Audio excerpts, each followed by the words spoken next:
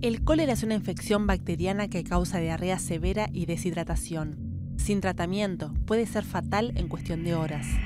Se cree que se originó en el delta del río Ganges, en India, se extendió por todo el mundo durante el siglo XIX y ahora es endémica en muchos países, particularmente en África, Asia y América Latina.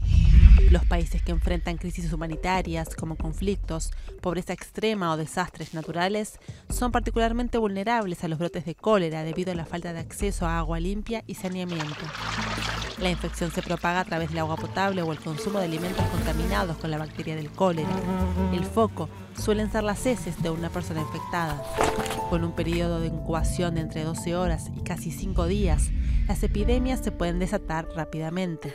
En 2015, el número oficial de muertes fue de 1.304, pero la Organización Mundial de la Salud estima que el cólera mata a entre 42.000 y 142.000 personas por año. Unas 4 millones de personas son infectadas anualmente. Muchos casos no son reportados debido a la falta de vigilancia y al temor del impacto negativo sobre el comercio o el turismo en las zonas afectadas. La mayoría de las personas infectadas no desarrollan ningún síntoma, pero los patógenos pueden permanecer en sus heces durante más de una semana, por lo que la epidemia puede propagarse en áreas donde el saneamiento es deficiente. Los síntomas son generalmente leves o moderados, el tratamiento implica una rápida rehidratación, ya sea oral o intravenosa en casos graves.